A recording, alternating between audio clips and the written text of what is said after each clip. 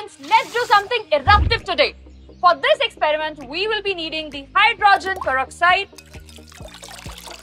dish soap, few food colors. The final ingredient and it will be acting as a catalyst and it is potassium permanganate.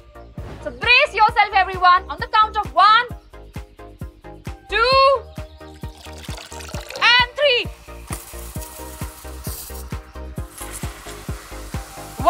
it looks beautiful.